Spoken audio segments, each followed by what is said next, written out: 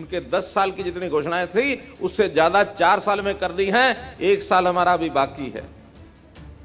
अब ये ठीक है कि उस एक साल में हम बहुत ज़्यादा घोषणाएँ नहीं करेंगे। क्यों? जो घोषणाएँ करनी है, उसको पूरा भी करना है। आज की हुई घोषणाएँ तो हम अगले साल के अंदर पूरी कर लेंगे। लेकिन अगले साल घोषणाएँ करके हम लोभ लुभावनी ऐसी कोई बात नहीं करेंगे कि अच्छा ठीक है, हमने मुँह से निकाला, अब पूरा हो चाहे ना हो, जनता को बेवकूफ़ हम नहीं बनाएँगे। एक नवंबर 2013 को भूपेंद्र सिंह हुड्डा ने गुहाना में रैली की और इतनी घोषणाएँ कर दी। यानी ठीक एक साल पहले। अभी हमारा जो एक नंबर आने वाला है, उनका एक नवंबर 2013 हमारा एक नवंबर 2018 लेकिन हम एक नवंबर 2018 को बड़ी घोषणाएँ बिल्कुल नहीं करेंगे। उन्होंने घोषणाएँ की, आगे चुनाव था, चुनाव में लोगों को बेवकूफ़ बनाने के लिए।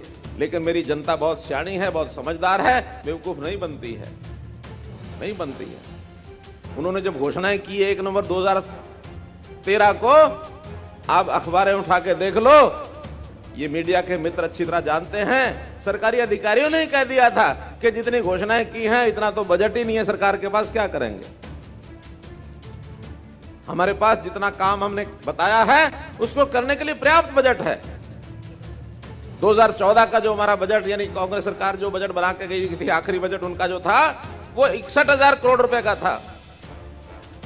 इस बार चार साल का जो हमारा चौथा जो हमारा बजट बना 2018 का, वो एक लाख पंद्रह हज़ार करोड़ रुपए का बना।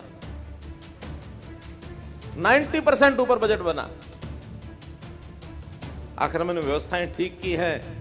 जहाँ से हमको पैसा मिल सकता था, वो लाए हैं। जो रेवेन्यू रिसीट हो सकती थी, वो हमने की है। और सबसे बड़ा, ये जो डाका डालने का सिस्टम था चोरी करने का सिस्टम था, भ्रष्टाचार करने का सिस्टम था, इसके ऊपर हमने डक्का लगा दिया डक्का लगाया तो मित्रों, विकास के नाते कामों की कमी नहीं। अभी हमारे ज्ञानचंद जी गुप्ता काम गिना रहे थे और इन्होंने मुझे एक एक पत्रक दिखाया है यहाँ, जो इन्होंने छापा है। हमने हर विधानसभा को कहा कि विधायक अपना अपना पत्रक छपाएँ, कामों का जनता को बताएँ। शायद सारी बात हम मुख्यमंत्री के नाते या प्रदेश के मंत्री कोई भी इतनी सारी बातें नहीं बता पाएँगे, क्योंकि एक ही विधानसभा में मैं देख रहा हूँ 111 इन्होंने उपलब्धियाँ बताई हैं कि मेरी विधानसभा में 111 उपलब्धियाँ हुई हैं। और मैं राशि इनकी पढ़ रहा था तो ये कहते हैं कि मेरी अपनी विधानसभा में ही बड़े छोटे सब काम मिला लिए जाएँ तो 2000 करोड़ के काम हो गए हैं। ऐसा ही मैंने क्योंकि इन 2000 करोड़ में कुछ बड़े बड़े काम ऐसे भी हैं जो जिला केंद्र होने के नाते यहाँ स्वाभाविक होते रहते हैं। बड़ी बड़ी सड़कें भी बननी है तो जिला केंद्र पर ही बननी है।